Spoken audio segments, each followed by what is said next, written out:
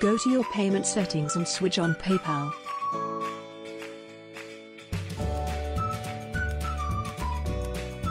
Now insert the email address associated with your PayPal merchant account and save. If you don't have a PayPal account yet, sign up for free. Now go into your PayPal account and activate the functionality to receive payment notifications in your reservation system whenever you receive a payment for a booking. Go to your PayPal account settings and select notifications.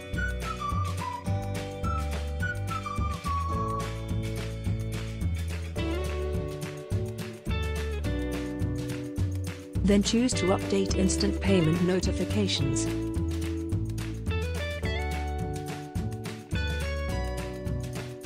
Insert the URL lodgify.com slash paypal slash IPN and tick to receive IPN messages.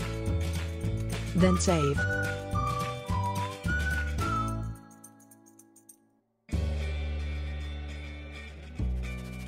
Your website is now connected to PayPal. When your guest wants to book via your website, he will see the option to pay with PayPal and will be redirected to his PayPal account.